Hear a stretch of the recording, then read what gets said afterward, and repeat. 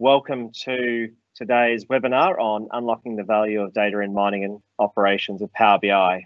Uh, my name is Dougal McBurney. I am the CEO of Versor, one of, we're one of Australia's uh, leading data analytics and AI specialists. And I certainly want to thank you all for making time in your diary to hear today's story, which uh, is a fantastic um, insight really from the team at uh, Newcrest Mining about how they've gone unlocking that value of data and the value of the single source of truth. Uh, in addition to the Newcrest team, um, I'll talk a bit about the uh, tr industry trends that are um, that people should be aware of in data and analytics that are really kind of transforming how businesses drive value from this. And Chris Benson, who is uh, the director of data analytics and AI uh, for Versor, will also then talk about uh, kind of the technical best practices about how do you make sure that your foundations are in place to really make sure, ensure you scale you know, these solutions. So, um, yeah, look, I think from the trends perspective, uh, Leah, Leanne, if you can just make that uh, slide live and just tell me when it's live.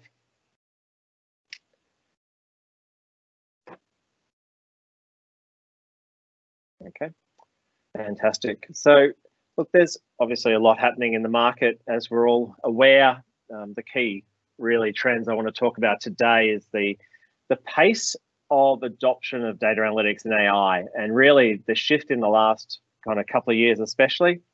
Um, obviously, IoT is um, still a, mega trend that's transforming pretty much every industry. So we'll unpack that a bit, and then I think it's about talking to you know who are the leading organisations, who are the people and the companies that are actually embracing this and leading the pack and, and creating enormous value from it.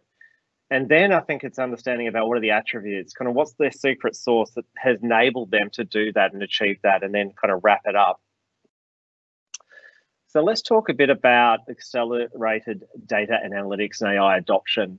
Um, yeah, this is a chart from uh, McKinsey.com, and you know what their analysis has shown is that you know the global pandemic has fundamentally shifted the pace of adoption of digital technologies by up to 10 times within an 18 month period.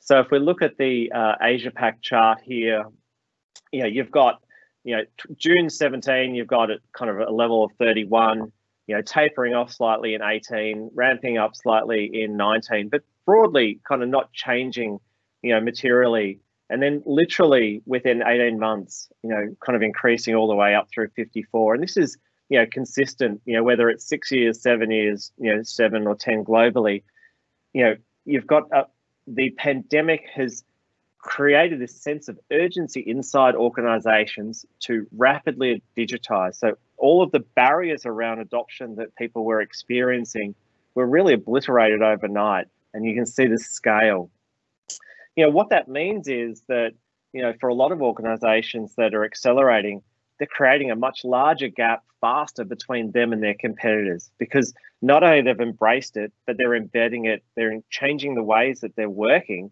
to use data analytics and ai in everyday life. And you know when you see the impact of that in market like a promotional a highly focused kind of promotional activity from a retailer as an example what you're seeing is probably 18 months worth of work and all the foundations to get there. And so, you know, now there's an impetus across the broader market to kind of catch up if they haven't necessarily embraced it. And I think you're seeing that's why you're seeing overall this massive acceleration. Look, I think the second trend that we're all, you know, really aware of is just the scale of growth of um, IoT devices. You know, it's talking about, you know, sort of 7 billion devices in 19 all the way up to 25 you know billion in 2030 so sort of 300% growth you know literally planned over this this decade that we're in. And from a spend side you know from a, a lazy 465 billion to you know 1.5 trillion by 2030 and you know that rate of change has been and the pace of adoption has been really consistent within the IoT world. And it's because every industry is actually seeing the tangible value that this, the IoT devices are creating for their businesses. These are real business use cases. No one's going to invest, you know, hundreds of billions and trillions of dollars if there's no value. So, these are value driven use cases. And, and I say, whether it's a water utility that's implementing, you know, 10, 20, 100,000 you know, IoT sensors so that they can manage the flow of water and minimize leakage, whether it's mining operations like the, the team at Newcrest might talk about today, where they've got, you know, hundreds of thousands of sensors on, you know, trucks and equipment about preventative maintenance, whether it's, you know, rail corporations that have got them on their tracks, whether it's energy providers. People are using this the sensors to collect data to integrate into advanced platforms to run algorithms to, you know, provide you know greater value out of the assets that they've got and make better investments of it. And I think this is going to continue. And that really strong fabric of IoT kind of capability is paramount for the next generation, which is all about digital twins that we might cover in another presentation down the track. So I think the question is who's leading the pack, um, and there's lots of people, but you know we sort of would like to shine the light on a couple. You know, certainly uh, Newcrest Mining that are talking today, and this is publicly available information. You know, they've they've bet on AI and IoT to monitor mines, and you can see a quote there from you know Gavin Wood. It's fundamentally about using machine learning and IoT to create automation and proactive kind of management of the mines to make them safer and more productive. And this is a consistent story across industry.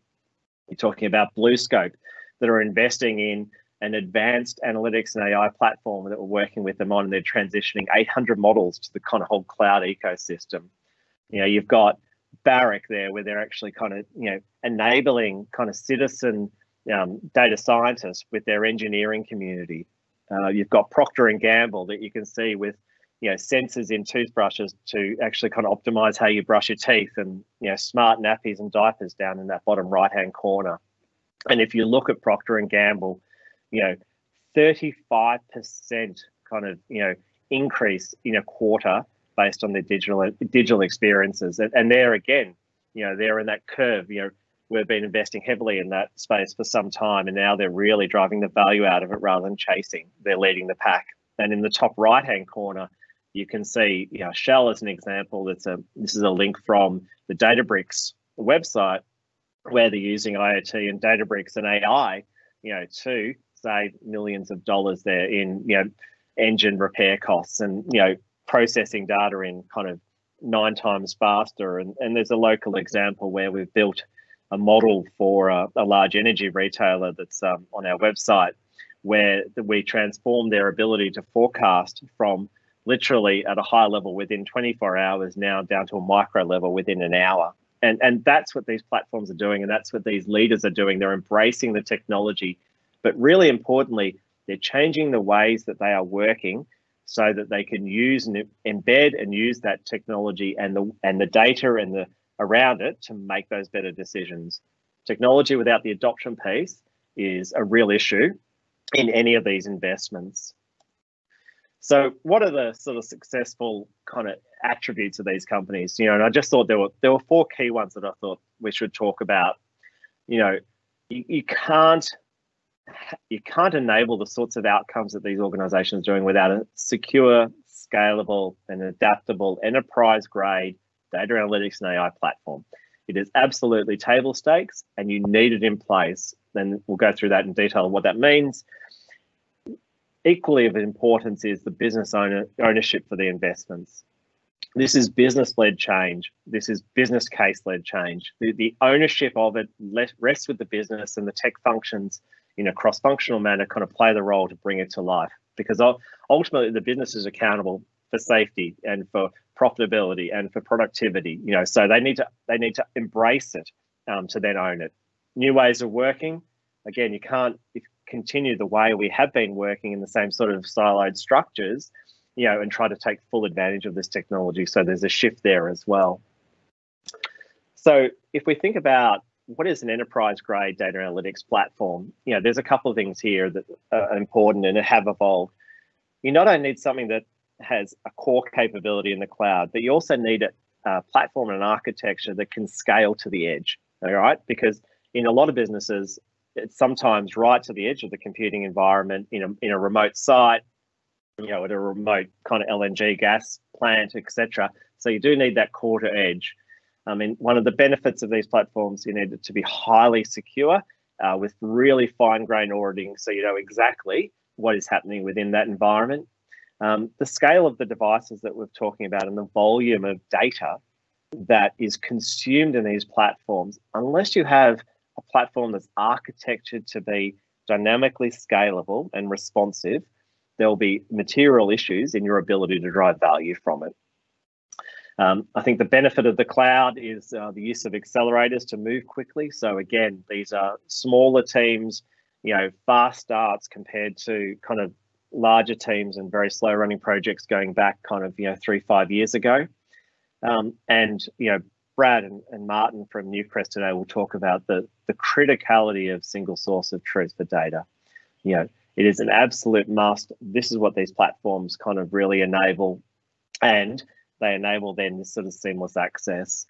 Um, that fully automated and micro batch code release, you know, this is something that software engineering has been doing for a fair while, and now it's fully available and embedded into data ops. And so your ability to have constant releases of capability into the business rather than waiting days and weeks and you know for that actual months to be to be in the you know release window that that mindset has to change okay? Because the business can't your business owners can't wait two weeks for a piece of capability. They need it today to make decisions tomorrow. And i think that that's that velocity of business and that this enables us to achieve. And then the architecture about loosely coupled to integrate new capabilities because you know the innovation in the cloud is at is at really um, lightning speed and you need to have an architecture that enables you to kind of tap into those new capabilities at any point in time. Um, the business ownership look you just can't talk about this enough. You know as i said you know the businesses own the benefits of the investments and they have the responsibility operationally of changing the ways they're working to get the most out of those investments. And without that strong ownership and sponsorship the readiness won't be there, and effectively we'll have a Ferrari that's stuck in the garage. You know, I don't know about you, but if we had something like that, we'd want to get out on the road in fifth gear all the time, right? People want to make the most value out of the investments that they're making. And I think that you'll find that there's ongoing investment baked into the business case for this constant improvement. Again, gone are the days where we land a big piece of capability and then we let it sit for six months. No, what we're trying to do is land an MVP capability, you know, minimum viable product, and continually enhance it based on feedback from our business and our business owners, you know, of what they need. Because, you know, the sooner they get their hands on these platforms and capabilities, the sooner they experience it, and the better informed they are to refine it, and that will maximize your your best, certainly maximize the value you can generate it. Don't forget about change management. I know the team at Newcrest are going to talk about this absolutely fundamental. You know, how you embed new capability that people haven't used before is non-trivial and you need to consider it and make sure you invest in it. Um, new ways of working, we talked a bit about this. You know, it's just a, an infinity loop and it's a continuous process, right? And I think that, you know, by getting with, you know, a lot of organizations have moved into agile practices, they would have seen this time and time again. This is about saying we are going to continually invest a certain amount of money in this environment and then focus on prioritizing the work that makes the most difference and get the cadence and high velocity. And what we have seen is um, organizations that have embraced this method have actually increased their engineering output because of all of the platform advances that they've got with code, micro code releases, code as infrastructure as code, and automation. I think the other thing is, um, you know, the criticality of these projects is to have cross-functional teams and working in a cross-functional nature as a, as a squad. And, and people on the, the webinar today would, would know that terminology. But it is about a collection of people with multiple skills from diverse parts of the organization coming together and solving problems in a particular domain that are prioritized by the business owner, the product owner. This is unbelievably powerful you know, once this team kind of forms and bonds and you get some cadence around them, you know, the output and the value generated from this model is extraordinary. And we've seen it kind of firsthand. I mean, some people then ask, well, how do you, you know, govern it? How do you have your standards? Well, you know, I think, you know, the evolution of this is that, that or the extension of it is that you have, you know, kind of center of excellences to support these squads. So a Power BI COE, as an example, is about model, really advanced modeling and, and visualization expertise, supporting the squads as people come and come in and out of the squads as they, they improve their capability, making sure you've got the standards in the right area. And data engineering and AI are exactly the same. But you can see it's this kind of hub and spoke, highly scalable model where the core sort of centers of excellence support all of the all of the hub of capability and depending on the maturity of that hub you know there's varying degrees of the level of support required and then they're constantly making sure the platform's evolving so they can drive more and more out of it and as i said you know the leading organizations the people that are driving that, that huge value from investments in data analytics and ai are people that are really have got this fully operational so as they global pandemics accelerated the change. You know, obviously, ten times within eighteen months is is unbelievable. You know, the people that have embraced it are creating a large gap between them and their competitors. Um, you know, let's think about making sure you've got the right platforms in place, and you can do it a lot faster today than ever before. But fundamental success, let the business lead the investment, you know, and own it so that you've got this sustainable value creation. Right? It's not a one-off. This is a long-term kind of view of constantly releasing value and creating capability. And then, you know, you've got to think about the operating model and capability uplift in the business and making sure that you empower all the company to use the capability that's being established and whether that's Power BI, whether that's AI, whether that's just interacting with the data. So that's um, really what I want to run through today. Um, now I have the absolute pleasure to introduce uh, Martin Gallagher and Brad Robbins from Newcrest Mining. We've worked with Newcrest uh, over the last four years, helping them on their kind of Power BI journey. And I think everyone will find uh, today's presentation absolutely enlightening and extra- exceptional. So I'll hand over to um, Martin and Brad. Okay, thanks, Dougal. That was a that was a great intro. Um, as Dougal said, so my name's Martin Gallagher. I'm the manager for our digital platforms at Newcrest uh, and joined by Brad, who's our enterprise reporting lead. Uh, we're going to talk to you today, again, following on from some of the themes that Dougal mentioned, talk a little bit about uh, our digital journey at Newcrest, and then focus specifically on the creation of a number of um, data model assets covering our cost, people, production, um, um, profiles across the organisation for better decision making. Just a little bit about Newcrest. Um, so we're one of the largest gold miners in the world, uh, ASX listed company with operating assets in Papua New Guinea, Australia and Canada and uh, exploration activities uh, across a range of locations across the globe, uh, primarily in the Americas currently. So before I get into it with um, uh, with Brad. I'm just going to take you through some of the key foundation steps that I think um, we put in place at Newcrest to help us unlock the value through data, and then talk through a little bit about how we're set up to connect our strategy to delivering the most important things to our sites. So we can just move on to the next slide, please. So I won't spend too long on this slide, um, slide, but I think there are a couple of important messages here. So uh, we really started, uh, I guess, in in anger, so to speak, our journey back in 2014, um, and led by a, a very forward-thinking and strong CIO in Gavin Wood. We had a very clear IT strategy that uh, was focused about around um, taking complexity out of our application portfolio. So the importance of this is just making sure that the, the data being captured in the organisation um, is being done so um, so that you can actually do something with it um, once you've got the capabilities to do so. So not letting uh, the environment become complex and standardising wherever possible in parallel, taking some early moves to make sure that we did, uh, you know, uh, make our network optimized uh, uh as we could, um, thinking about the future and where we were going to, um, you know, be transmitting large data sets um, uh, across our organization, particularly our bandwidth constrained remote operations. And then finally, um, having in place a set of sort of common sense policies and standards. I use that sort of term because not overbearing um, policies and standards, but uh, fit for purpose and equally understandable to guide our workforce as appropriate or partners within our workforce and partners in our, our, our industry workplace, the likes of um, Versor and, and, Microsoft being two um, primary ones. So I'll just then move on to the next slide, please.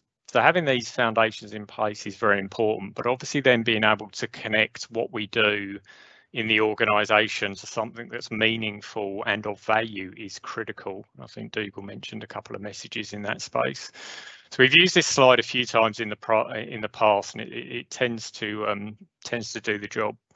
So uh, from left to right, really what we're doing is connecting and collecting uh, huge amounts of data across obviously a mining operation. There's a, there's a huge amount of data collected, be that through mining and business applications. So things like our SAP app or our uh, metal accounting fleet management systems and, and the like through to huge amounts of information captured through sensors and uh, instrumentation readings across our operational technology sets. So think conveyor belts, uh, crushing machinery at mine sites uh, and um, information captured by the second um, on those pieces of equipment.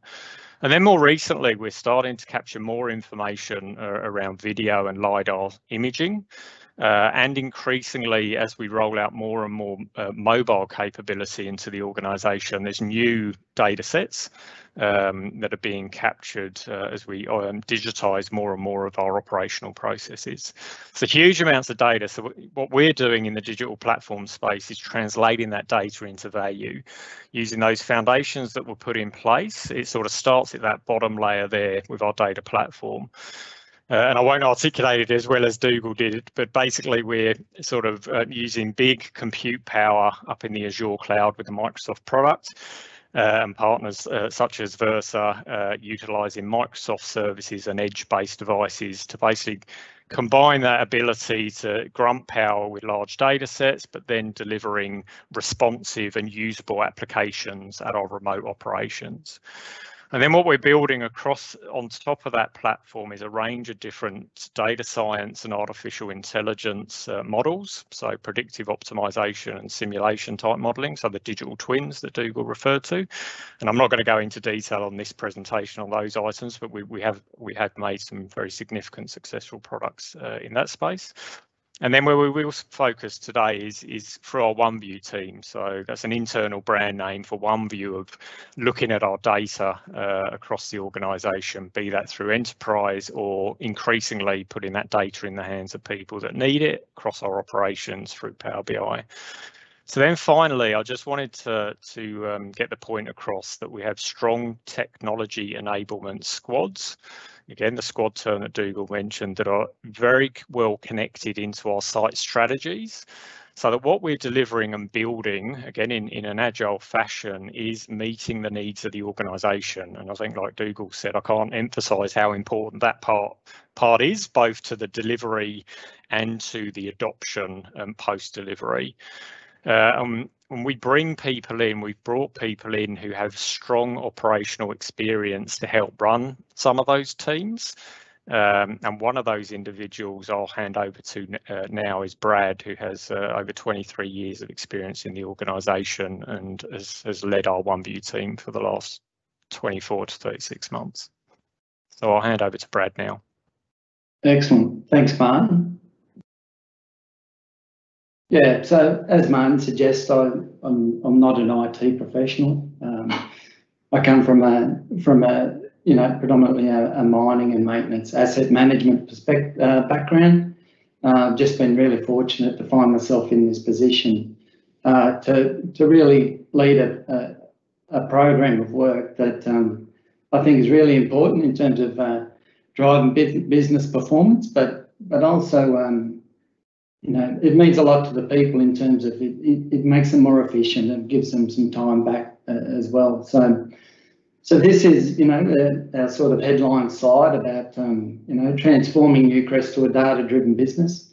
There's a lot to it. Um, you know, there's not, you know, a, a, single recipe to, to success with, with building this sort of um, transformation, I think, in, in, in any business. But, um, you know, why are we doing it? You know, predominantly, you know, we, we, we do drive uh, and we have um, used Excel to do a lot of um, data wrangling, um, a lot of reporting, whether it be daily reporting or weekly reporting. And th there's a lot of complexity and, and potential error prone, you know, prone to errors uh, in trying to, to manage big data sets. So we want, what we want to do is we want to, you know, through these, these, these five building blocks is, is move people across into a, an automated space, you know, where they, they operate off a single source of the truth, you know, that, and when I talk about single source of the truth, it, it's a data model that they actually really know and they trust and they want to use it every day. Uh, they've got automated reports that that they can they can use from a, an operational perspective, but it, fundamentally what that does it gives them more time to, to to execute what those reports or what the performance of the business is, is saying. It's not we're not spending time in, in wrangling uh, and, and less time in in understanding what the data is. So that's what the real you know the real driver for us to and, and the real business benefit. Um, so the bottom, uh, the model there is around, you know, single source of the truth. I can't stress that enough. Um, people need to need need to really trust what what's in that data model, whether it be, you know, pre-calculated metrics and and business logic in there that, that that's going to help them and stand there in good stead uh, in, in, from a daily and, and, and longer term perspective. Uh, you know, around 18 months ago, we we we moved to a to a Power BI uh, premium instance. Most recently, we've we've now set up our second one in North America. So, like Martin said, we've we've got a place in Canada, Red Chris uh, mining operation. Uh, if we're going to be successful and get people to use data more effectively, we need to give them the best user experience. So, so um, working in conjunction with our, our Newcrest uh, infrastructure team. We've, we've now got a, a data centre in North America, and now we've got our North American tenant, and that's, um, you know, we, we want to put the data as close as possible to that, that site. The Power BI training program. So we've got a really, you know, we've got a great trainer, we've got a good program. Um, it's all around centered around you know, the different personas in the business and, and where they are in terms of their maturity with using Power BI and Data. So if you know, we've got we've got programs that that you know simply get them to use Power BI and understand that and be more effective, uh, right through to the super users, the guys that are you know deep in the in the big data sets and things like that. Uh, the Power BI community is is something we've worked really hard with. Um, we have a we have a power up session, we call it. So that's an opportunity for, for us to showcase uh, data, Power BI, uh, but, but get people, um, you know, the experts in, the, in their fields and their functions that are, you know, the leaders in, in, in using Power BI, to get those guys to, to show showcase some of the work that they've done. And, and that's been really successful for us. Um, and it's been a great opportunity for them to, excuse me, showcase what they've done to their management and, and develop and their peers. Self-service reporting, well, that's what we're trying to do. We're, we're trying to democratise the data, get it more openly used. Um, you know, if people have got decisions to be made, um, they don't want to be reliant on that central model all the time. That that that constricts people. Uh, so the, the real benefit of self-service reporting, they can answer their own questions. Uh, and the last one is around the working group forum. So something that's been quite successful for us is um, we've set up three type, three functional area um, working groups. Uh, predominantly what that does is, is allows the, you know, we have people right across the business from the, from the group and all the sites um, you know, from, from Canada through to Papua New Guinea and, and Western Australia. So it's a good opportunity for those guys to, to, to share information about what, um, what reports they need, what data they need accessible, uh, to be accessible in data models. And um, and just through that process, I think it makes them more familiar with with the IT processes, you know, working in an agile fashion, iterative way. Um, and I think that's that's also quite helpful. Um, one of our, I would say, success stories would be in the health and safety environment. Um, it's an area that was was really quite Excel driven. Um, we've got two really good applications that drive safety management in Newcrest. Uh, one is a leading indicator and one's a lagging indicator. And, and to, to do a, have a holistic report on that, there's a lot of manipulation of data. So, so through the Versor team um, and, and through the working group forums, what we've done is we've been able to uh, combine that data model, but those two really good applications, we've combined it into one application and we've automated reports that now are used right across the business. Um, from a proactive nature, I think, um, you know, which, which, is quite cool, is the fact that, you know, when you when you put a leading leading indicators and lagging indicators in, in together, you can see uh, with the with with you know the, the knowledge of the the subject matter experts, the guys that are at the front line from a health and safety perspective, you can get to an environment where where you can see areas of rising risk.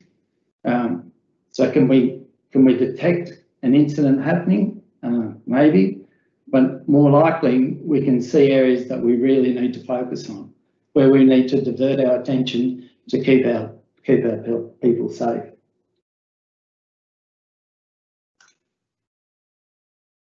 So that was sort of the, the broader program.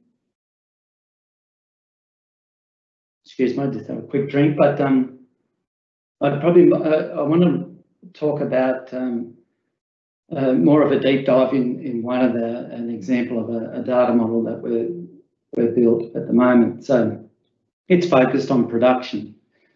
So our vision with this with this model was to um, was to have a you know an integrated solution that could could identify what are the key metrics across the business. So so what are the critical metrics that actually drive our operations? And when when we pull all of that apart and and we and we engage with the business, that there could be there could be key metrics that live on-prem uh, in a mining application uh, there could be something in, a, in, in our cloud environment that's stored centrally. Um, but what we needed to do is put them in one platform so we can we can we can build off this single source of the truth. We we then uh, can understand really well where we are in terms of our our, our production performance and our and our position against the market guidance. Step one around that was about identifying what the key metrics are. So, you know, engagement, I think Dougal talked about it before, you, you can't engage enough with the business in this space. You've got to build the build that rapport with the team. Um, and we did that from a from a central perspective. You know, a lot of the leaders in mining and the leaders in geology and things like that, excuse me, that we have in the business. So we identified what the key metrics are who owns those metrics? Where's the, where do they most prominently should or where should they reside? Um, what are the calculations that that underpin those metrics? Once we understood that, then we got the data engineers to work. So they got the these guys, clever individuals, to get out there, map from them source systems. Like I said, some of them are some of them in the cloud, some are on-prem, whatever. Um, but we've we've mapped a lot of those metrics back in, and then in a in a in an iterative way is is to then feed that back into the business and say, right, well, here's the metric, here's this key metric that you're talking about. You've told us how to calculate it. Here it is. Um, can you validate it? Um, and that's what we did. We, we, we continually operated in that fashion. And, uh, and I'll show you another slide in a minute with um, with sort of the, I guess, the key metrics around that now. Step three really is um, where the rubber hits the road. You know, it's we, we want one source of the truth, and we want our enterprise reporting to be sitting on that uh, and accessing the same key metrics as what you would be in the self-service space. Um, so that's, you know, that's a, a, a really important point to make. I think, you know, a lot of times you can get caught up in conversations when we're talking about production and, and, and performance. And we don't really want to be in an environment where we're talking about is the data quality the problem, you know? Is, is the business logic right? You know, we, we want to set that up right back at the beginning in, step one. So then we're not talking about that type of thing. We're talking about how we're going to drive drive performance, hit our market guidance and and and above. Um, so that's um, you know that that that is a, a larger program of work that we've we've done. So this is our global view of the Newcrest production model. Like I said, it's it's quite expansive and it and it's from a global. We're a global company, so you know we it's um, we're mapping we're mapping from from all the all the sites. So you can see in in Canada we've got three source systems coming in from there, Western Australia, and then through you know into Cadia and the group. 37 source systems, like I said, you know, it, it could be from a mining perspective, it could be a geology or a metallurgy reconciliation type application. They're all feed back into this model. So we've got 2,700 metrics in that model now. Um, are they all certified? No, but we're well down that path, and we, you know, that's what our that's what our goal is to is to to leave the business with a with a platform that um, that they can really know, trust, and um, really drive that performance. And and I and I'm confident that um, it'll be something. It'll be a you know a true asset of the company. Uh, this this production model. Um, just a little story. I think um, there, there's a you know in terms of you know people that are using this model and how do they have they found it and where, where the business value is. Um, and I don't think you'll mind talking to me, uh, you know, me talking about this, but uh, we've got a senior metallurgist in the company, he's been in the company a long time, uh, very well respected. Um, you know, he, he was he was quite skeptical. He said to me once that, you know, what Power BI was going to do to him. He was very proficient in Excel, knew his data, and um, you know, one of his his role is to is to present to our executive committee around what our performance in the metallurgy sector is. Um, he was open-minded enough to, to jump in there, attend one of our Power BI training sessions um, with some support from our you know centre of excellence type model. He's now building his own report. So he's now built his own monthly reconciliation report, which he then takes to the executive committee and that's, you know, in his terms, he's saying that now I've got 12 days a year back because I don't have to do this anymore. It's it's automated. He trusts it. So that's sort of a, you know, to me that's a that's what this is all about. Um, and and it's it's quite important. You build it right, you build it from the right foundation, people use it. Um, it takes takes time. Um, just a, another little note, uh, I, I guess we're currently rolling this out to the business now. So, so not everyone will use the Newcrest production model, but a lot of people will. Um, so to try and sow the seed with these people, get them familiar with it, we've, we've set up a, a daily, uh, sorry, a, a one hour workshop. We've just, we've just completed our, our two, our two one hourly sessions and, um, and that was been very well um, received by the business. So I move along to the to my my final slide, and um, really, like I said, I don't I don't think there's just a blueprint to deliver, you know, the single source of the truth. We've we've got to make sure that um, uh, you know that we're agile enough in terms of understanding the people uh, and and the different departments, etc. But I think I, I like this this image. Uh, I think it, it's held us in good stead. Uh, there's three elements to this. There's the people, number one, the process. So you can't engage enough with the people. The process is, is understanding what are the business rules and standards that underpin it. And when I talk about the standards, that might be from a, from a time usage standard that we that we have in our business, how we how we record downtime, or it could be you know a mining material definition standard. So if we build that logic in and that data model, um, you know that's that's going to support us uh, and and and keep the logic right. The technology is probably what Dougal was talking about before. You know, it's really about making sure that the platform's scalable. We're trying to build an asset that a lot of people are going to use. When people use things like that, uh, it, it, puts more load on. It's about being able to scale it up so we can give them the best user experience they can get. Um, I think that's, um, yeah, and from a personal perspective, it's been quite a, you know, very challenging uh, but rewarding project to be a part of. Um, I'm really very fortunate to have a, a really talented and dedicated team that that are looking that, that are really engaged in, in in delivering this. And and when you see when you see the output or the outcome uh, when this when you get it right um, you know and you get to see how the business get to use it and feel more you know uh, proficient in using it it's a, it's a really good outcome. So I just want to leave it on that on that note. And, uh, and to that point, I'd like to now hand over to Chris, Chris Benson. So Chris is the, the director of uh, data and analytics and AI. So um, over to you, Chris. Thank you. Thank you very much, Brad. Thank you very much, Martin. Um, so can, we've heard from we've heard from Dougal uh, and and and Newcrest um, on how the digital landscape is is changing and the democratization of data is very key uh, in these.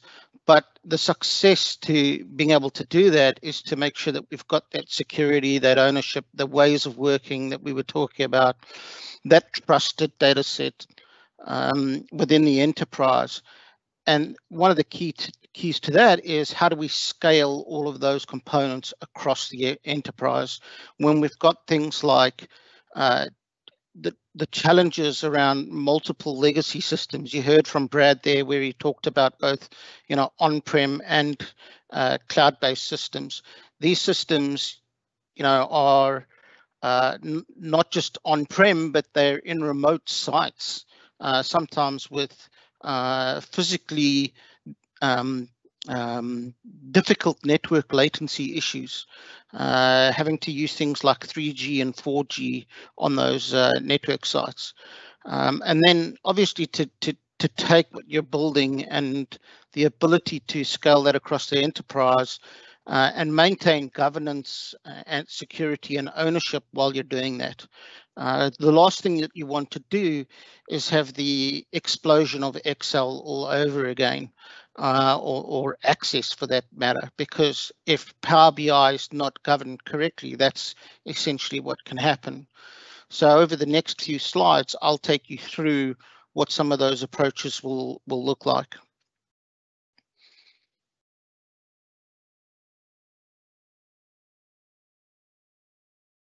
Looking at uh, approaching, you know, the approach to scale data over over the enterprise, the the key is to gain trust. Um, to, to get your users to, to gain trust in the data. And you heard Brad talk about, you know, that verified trusted data set. Um, how do you go about doing that? And uh, if I could go back to Brad's uh, slides, um, if you remember the building blocks of one to five, and then the second slide, one to three, it really comes into play there. Um, so the, the first thing that you need to be doing is transforming, you know, very manually intensive data and making sure that the data comes in in an automatic, consistent uh, uh, fashion. So, and, and, and bringing that data into a single source of truth, really. Uh, utilizing um, features of Power BI service and premium uh, to validate and certify uh, data sets. And what we'll show you in a moment is how you can deploy your data sets and your visualizations across uh, the Power BI stack and the approach to that so that in the end you've got this enterprise uh, landscape for your for your workspaces. Um, making sure that data is consistent is is uh, is very key and um, making sure that the visualizations that users will uh, see on a daily basis are consistent across the enterprise is uh, very important as well. So in that you need to be making sure that you're creating templates, themes, that you're building a visualization guide that the experts in the organization that are going to be building reports, both your uh, reporting COE and the SMEs in the business are adhering to uh, the standards that you're putting out there. Uh, and if they don't adhere to those standards, well, then those reports just don't get into that enterprise space to be able to be uh, displayed to users.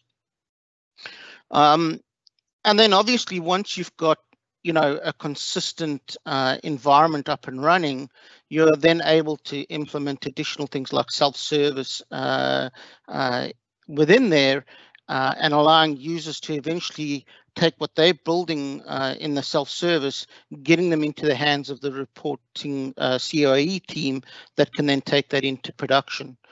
The next slide, this slide here, will, shows you how we can go about doing that. So essentially, when you uh, create Power BI and you access into the service, you may not have premium um, at that point.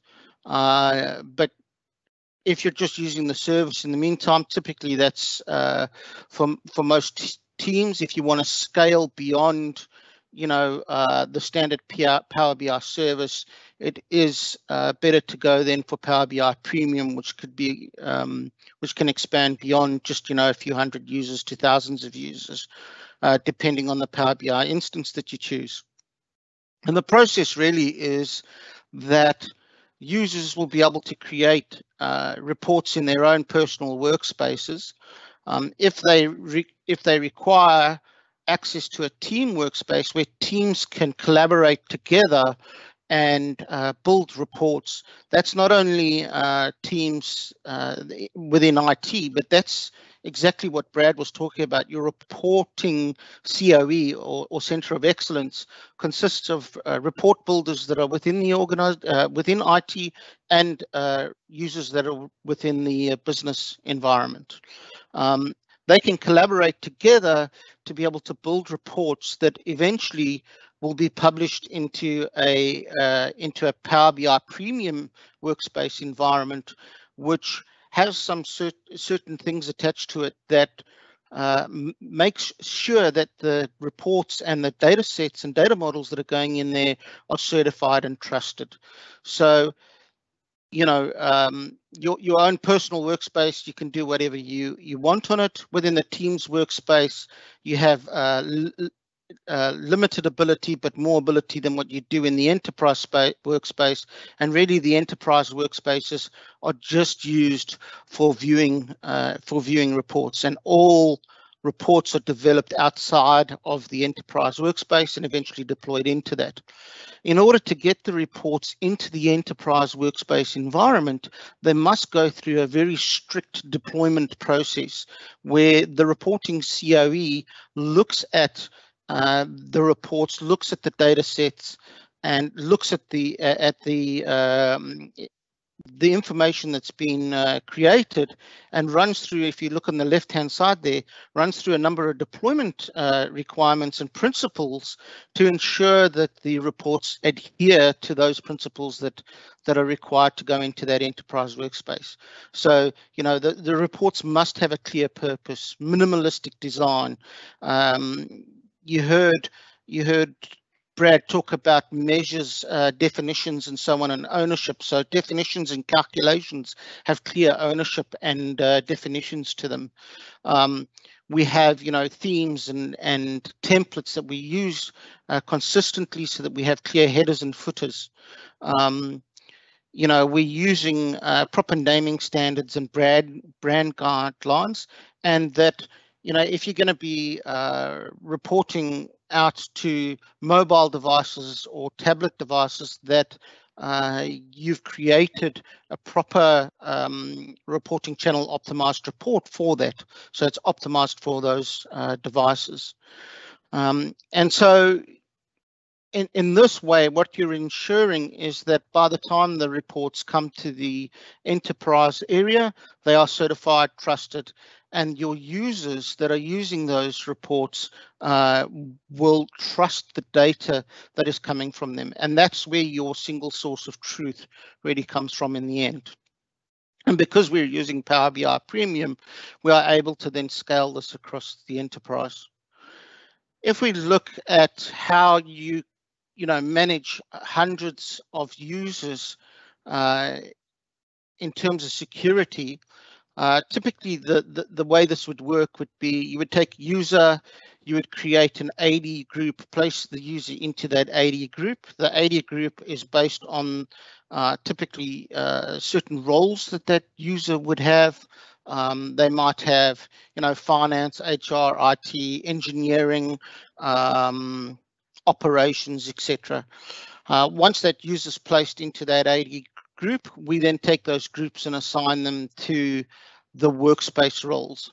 One thing to note though is that there's no common role across all workspaces within Power BI. So if you create hundreds of workspaces, you need to manage uh, the roles, uh, the, the, AD groups into those, uh, each of those workspaces for those different roles, member, contributor, admin, and viewer. Um, it can become quite difficult over time. And uh, one of the things to do there is make sure that you've documented uh, the um, roles and responsibilities across the organizations, almost, almost like a RACI uh, uh, document across there. If we look at the uh, approach to some of the uh, network latency, um, you know, as I mentioned, some of the sites are really remote within the within the mining uh, industry, and so uh, and they and they may have bad network latency. Uh, in that case, you could deploy Power BI report server uh, down onto uh, on premise. Um, the, the, difficulty just in managing that though is that uh, because the features are not the same as in Power BI service, you do need to possibly maintain two separate different code sets of reporting across that. Um, but at least it, it, it uh, reduces that network latency um, option. Um, you know, there's there's data gateways, and I'll speak about data gateways. You know, on-premise data gateways. Uh, obviously, uh, when you put them as close to the uh, uh consumers as possible, uh, that that would improve the performance as well. Um, host your your data sources closer to consumers. So one of the things that you could do is synchronize analysis services or uh, SQL replication, Oracle has its own replication and so on, so that you're moving data uh, closer towards, you know, the cloud where you're going to be reporting um, from. The other thing is to host the data sets and reports closer to uh, the geographical Azure region. And you heard Brad speak about this uh, a little bit earlier, where uh, with Red Chris in uh, Canada, they've actually put a Power BI instance now, Power BI Premium instance uh, in in Canada, and the reason for that um, is so that that is closer to uh, to the users as opposed to having it here in Australia, where the network latency would be a lot a lot worse. Um, and obviously, there's a number of uh, query optimization and techniques that you can use to minimize traffic, but the the four above are are you know, uh, typically the best approach to it. Finally, uh, I just wanted a word around, you know, on-premise data gateways. We quite quite often come across uh, that there's poor performance of of the data gateways. Um, again, if you make sure that your data gateway um, is configured and placed in the same region um, as your Power BI server or your analysis services uh, server, it'll give you a much better, uh, much better uh, performance. Also, uh, keep in mind that when you go across regions, um, you do pay for data exfiltration. So uh, it's always best to actually keep these data gateways in the same region as, as your analysis services or Power BI. Um, don't use the minimum hardware requirement. Quite often uh, what happens is uh, uh, we'll go in and, and, and talk to IT and say, hey, we need a, a server with uh, eight CPUs and, and 16 gigs of RAM, and they'll quite often just spin up four, four CPUs and four gigs of RAM or something. And unfortunately, the minimum requirement for uh, on-premise data gateway is um, it is eight CPUs and eight gigabytes of RAM, but I would say that you'd need to bump up the RAM on that as well. And finally, uh, implement high availability clusters um, and load balance across the, the, the on-premise data, data gateway. So uh, that's all built in. You just need to uh, essentially fire up another VM with the uh, gateway installed and you can join it to a availability set. And then that means that you can uh, push tra traffic across both data gateways. You can actually uh, force one data data gateway to go for specific traffic and another one to do other traffic. But the typical example is just to share traffic across uh, both data gateways. So in wrap up, um, just you know, what does the future look like for this? Uh, making sure that we're creating a, a, governance framework to assist with the democratization of data assets. That was mentioned several times. You know, obviously that single source of truth. Deploying a robust and upgraded security model using Microsoft's um, uh, uh, information protection security labels. That's what MRP stands for there. Uh, if you've got, um, you know, an E an E5 uh, Office 365 license, the Microsoft information protection labels are really really useful in in terms of security around that. And finally, you know, uh, deploying real-time uh, management dashboards as well can be really useful. So thank you very much. I will Go on to the next slide. Thank you. Dougal, um, would you like to say some last words? And I believe there might be some Q&A that we might need to just go through as well. Okay.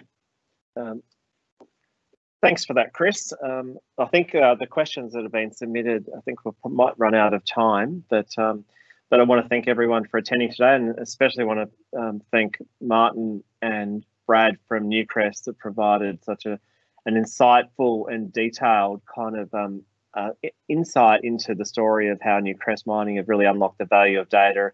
Um, you know, and you and you heard it. It's not just about you know some technology, and and it's about you know a platform, a single source of truth. You know, training and coaching programs of work, changing ways of working, really empowering that fully self-service analytics, and and creating change and, and shifting capability inside inside the business and you heard the sort of value that's being created uh, it was fantastic to hear chris' presentation on you know the under the waterline stuff that you actually need to have to be able to kind of get to the point where newcrest is and i'm sure we could have talked just on that for another hour or so um, look I, I, think that for everyone on the call if you're kind of in, in going down the path of power bi or you've got some data viz, but really it's not transforming the way the business is working and it's not unlocking the value, then um, you know, would love an opportunity to have a chat. Reach out to us at contact@versor.com.au.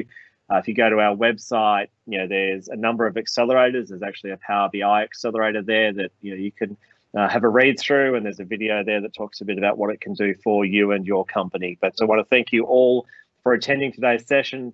Um, I hope you have a wonderful day. Stay safe, and we look forward to hopefully speaking with you soon. Bye. Thank you. Bye.